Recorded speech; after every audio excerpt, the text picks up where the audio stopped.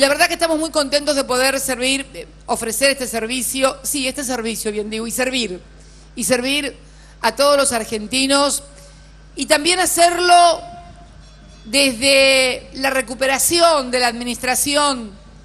de estos ferrocarriles por parte del Estado en los nuevos ferrocarriles argentinos, que es la marca, que es la marca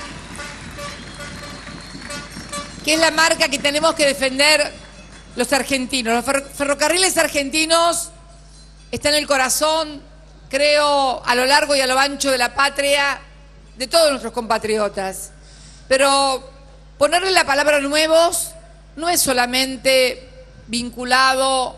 al hecho, importantísimo por cierto, de que los vagones son nuevos, confortables, con aire acondicionado, con cámaras en cada uno de los vagones que conectan directamente con la cabina de la, de la conducción, de la locomotora, con carteles LEDs que van eh, indicando los tiempos y donde eh, eh, se acerca la próxima estación o cuánto tiempo falta para llegar a destino en cada estación.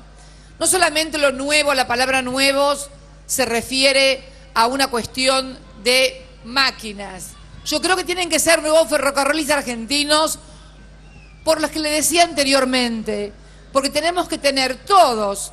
los trabajadores y los usuarios, una nueva actitud frente a los ferrocarriles. Nosotros como gobernantes hemos dado el puntapié inicial